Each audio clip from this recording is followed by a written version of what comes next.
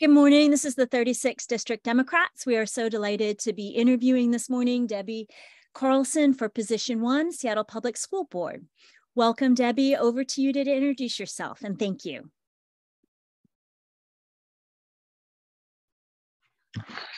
Thank you. So a little bit about me. Um, I'm a parent. Uh, my, my child is at Olympic Hills Elementary. It's a Title I school. Um, she's in kindergarten, about to graduate. I'm also on the PTA at Olympic Hills as the advocacy chair. We are an LGBTQ family. A little bit about us as a family, we're mixed race. Uh, my partner and I are former um, foster parents um, and we have adopted our child.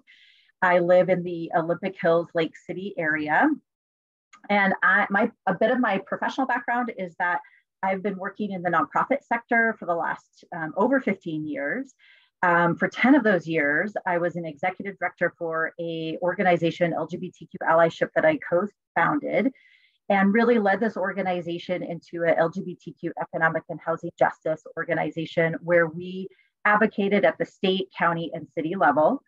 Um, part, an example of, of um, my work is that in Coalition, I worked to advocate for the creation of the Office of Labor Standards and um, ensured that LGBTQ workers was were part of their scope of work in education and outreach, which we then um, secured funding for um, to do that work.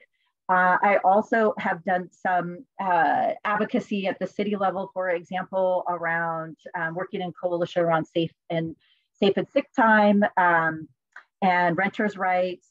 Um, I also have been working now in the early learning sector, working for with Child um, Child uh, Children's Alliance and Washington Communities for Families. I love teaching. I'm a former ESL instructor and currently now a um, uh, early learning um, part-time early learning uh, teacher. Thank you so much, Debbie. The first prepared question will be asked by Jeremy. And just to remind you, the first ding is annoying, the second ding is the end time. So you can talk through the first ding at the timer. Jeremy, over to you to ask the first question.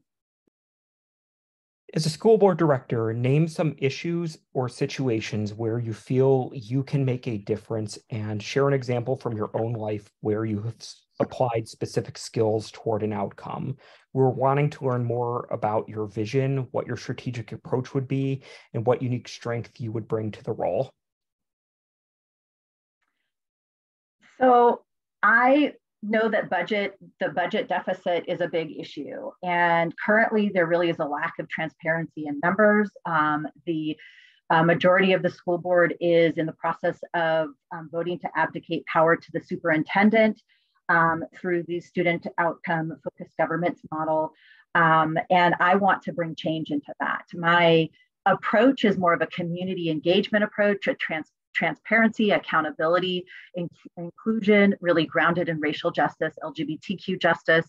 And I'm a bridge builder. Um, an example of that is um, in collaboration with Entre Hermanos, um, an LGBTQ immigrant rights organization, I um, built a 14 member um, coalition of LGBTQ groups, racial justice groups, and disability groups around the census, um, where we educated why we need to show up for the census. Um, I that's an example of my bridge building. Um, what I want to do and what I think is an important factor is really to um, not abdicate pow operational power to the superintendent's position, require more transparency around data, encourage there's current school board members that are asking for data to really understand the budget narrative and how the budget is being um, produced or um, the proposed cuts.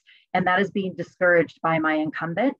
Um, and like for example, my kid has an IEP and I'm we're not sure about the special education budget, which is part of the largest part of um, SPS's budget.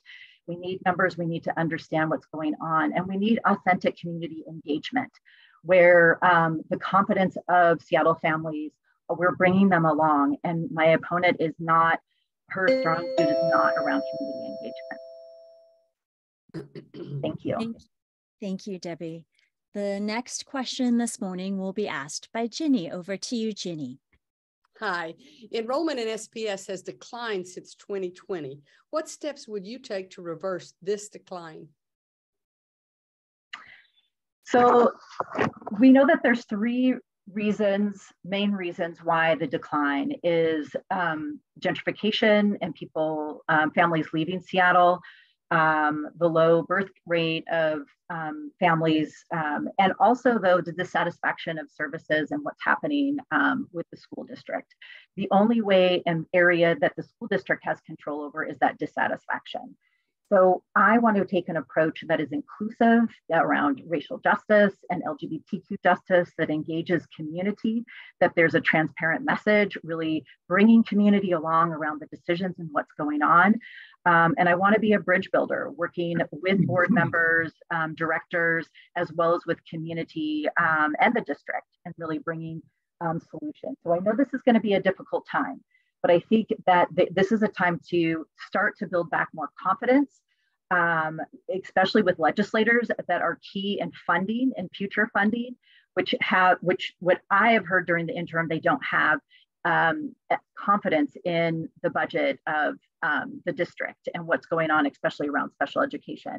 And so I want to bring back that confidence. I want to be part of the solution. I want to work across sectors. I want to work with community. I want to work with teachers and educators and, and be part of that solution. Um, and uh, and I think we need, and at this time, what I'm really running around, it, running for, is to ensure that we're not abdicating our power to the superintendent's position where we are accountable as directors and that we're showing up with community and being transparent and what we're doing and why we're doing it. Thank you. Thank you, Debbie. The next question this morning will be asked by Laura Marie. Over to you, Laura Marie. Hi, Debbie. What is your vision of a well resourced school and how do you practice equity and inclusion? May I ask a clarifying question around this before my time starts? Sure. Um, so when you, are you talking about literally a school or when you say a resource school, are you talking about the district? That is a solid question and we haven't defined it before now. I was imagining a specific school and crossed over to each of the schools, but if somebody had a different idea, go ahead and chime in. Debbie, I think you've asked a great question, and I don't know if we had consensus and clarity around what that is. So I think it's up to you to figure out how you would want to respond to it. Very correct. Okay, well, I'll do a little bit of both. Great. Sorry. Thank you for asking, and uh, let's let's go to the question. And we're excited to hear some thinking from you. So again, I want to really be clear about what I see as the problem. And that really is a lack of transparency, accountability, um, and confidence at the state level within community, um, and just a lack of communication and community engagement. The process that I want to take is really um, working across and build and um, bridge building with directors, community, and the district and, and educators um, having a transparent process, really grounding in racial equity, um, being inclusive. Um, what I really see, and I think it's key to really build back that confidence at the legislative level so that we um, can work well um, with the people that are making the decisions around our per, the purse strings. What I see as a well edu- or well resourced school is to have enough teachers and para educators to have a full-time nurse at least, full-time school counselors, um, having a robust early education program, after school options that families can engage in, um, having robust art, music, technology, and sports, um, having high quality, excellent special education for, for families, um, availability of, of field trips, well resourced, um, smartly resourced transportation, um, and really continually checking in with a family within the school about what's working, what is desired, so that there's that community engagement and understanding of what what families want and why are they continuing to stay in the school system. We want to ensure that they're staying in the school system and that's really about satisfaction building trust and that communication transparency and uh, community engagement thank you so much thank you the last prepared question this morning will be asked by shep what are your thoughts on addressing the budget deficit? And if necessary, how would you approach deciding which schools to close? So this is going to be a really tough year in um, for the, the, the school board and for families. Um, so again, I want to bring communities along with their voices and um, have a process where there's people are understanding what's going on and why, and that we're open to taking suggestions and bringing that to the board and therefore to the to the district. What I um, I want to, I think it's imperative that we understand what programs are popular, what programs are that like Seattle families um, want within their school districts. I think that we schools in determining with schools around the enrollment, the lowest enrollment schools, if there's a higher enrollment school nearby, that that's one area and one way to determine around consolidation. I think that there's other factors around um, racial equity and if there's programs that are really addressing racial equity, that those continue in those consolidated schools, that we're again centering um, children of color, immigrant children, um, in our analysis and how we move forward with those budget decisions.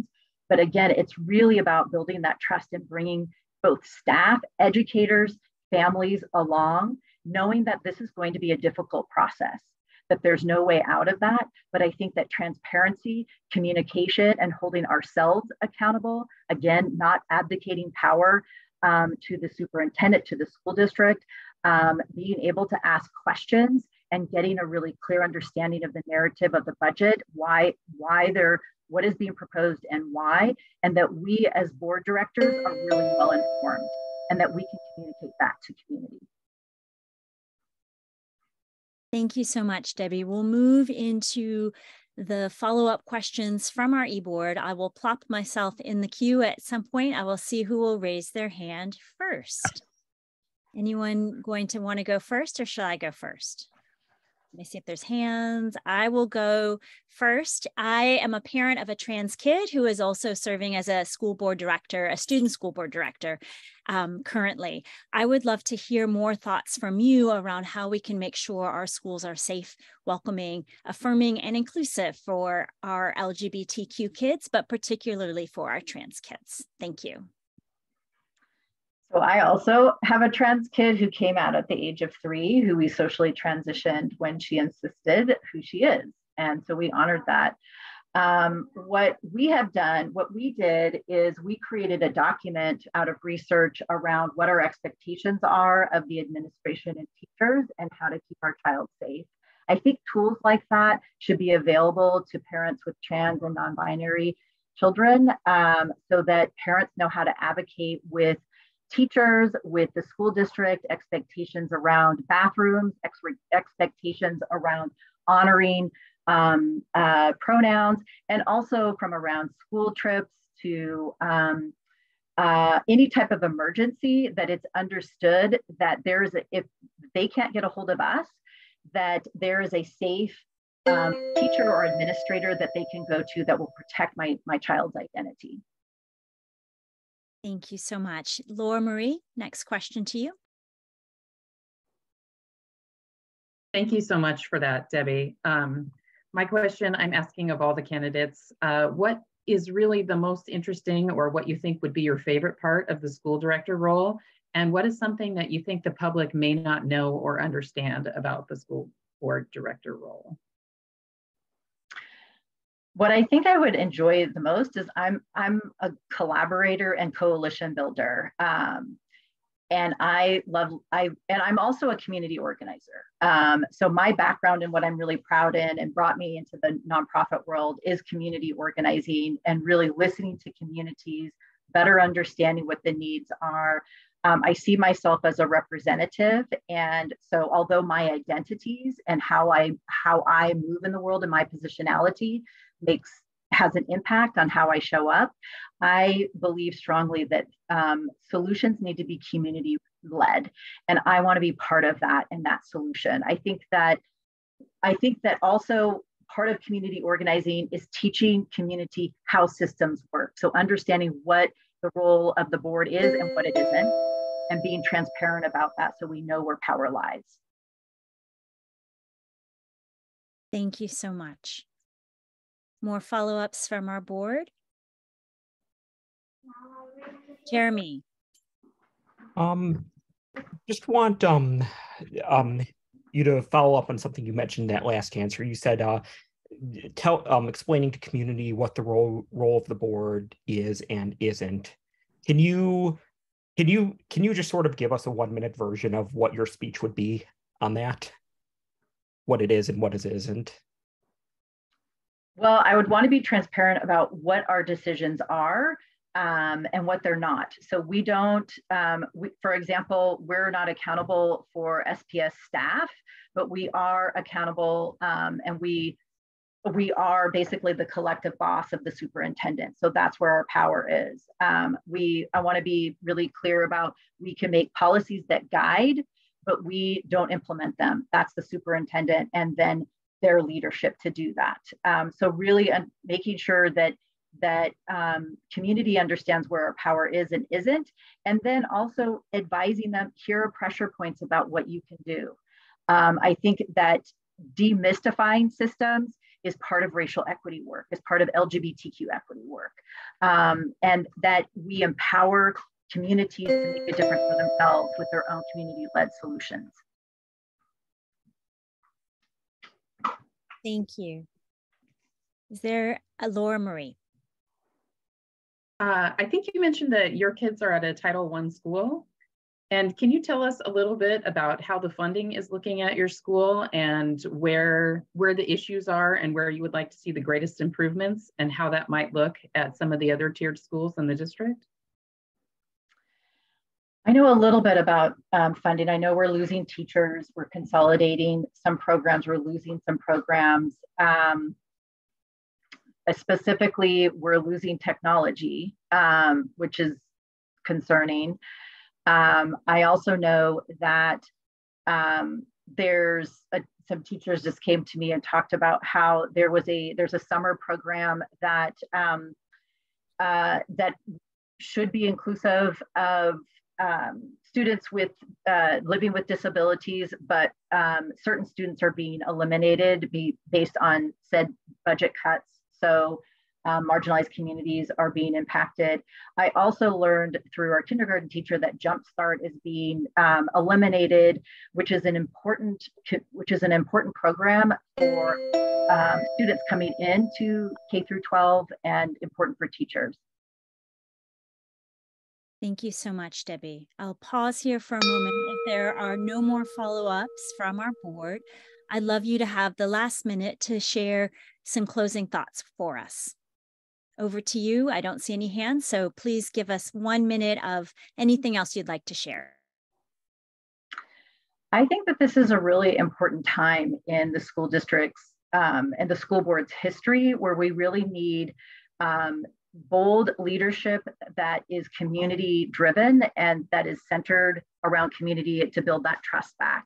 Um, I do not believe that we should um, I don't believe in the student outcome focused governments model in a cookie cutter form.